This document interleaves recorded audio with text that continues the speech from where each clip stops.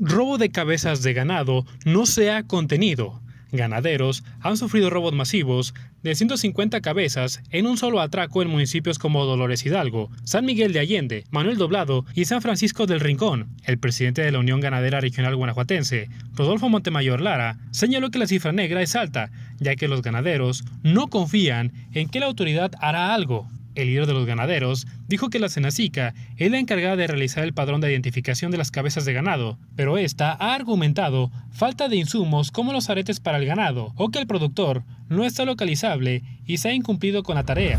Lamentablemente pasa en todo el estado. Eh, eh, lamentablemente, ¿qué, tenemos nosotros en conocimiento? Pues que está en investigación, que está en proceso. Eh, no tenemos ninguna información sobre a dónde se va esta carne, cómo sale del estado inclusive. No tenemos la información, es, es, muy triste y es desesperanzador para los productores este tema. De ahí el tema de que dicen, ¿sabes qué? No tiene sentido que yo ponga una denuncia. me arriesgo a muchísimas cosas porque me amenazan, porque no va a tener ningún efecto mi denuncia, me va a costar mi tiempo desatender mi unidad de producción para ir y levantar la denuncia y es una vuelta, es otra vuelta y son temas complicados.